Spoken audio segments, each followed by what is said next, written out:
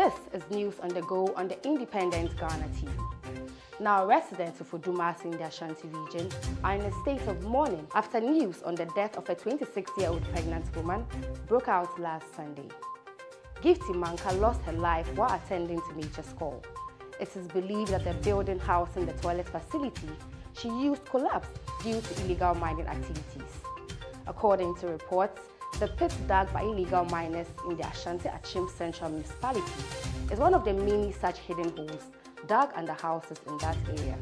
Sources also say several houses are under threat of collapse due to some of these hidden pits.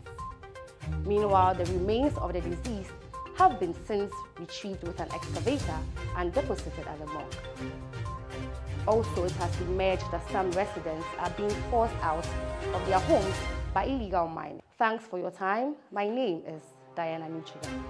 Do well to subscribe to this channel and visit the website at theindependentghana.com for more news.